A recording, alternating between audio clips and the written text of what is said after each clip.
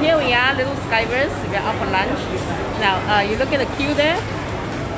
Everywhere there's a long queue.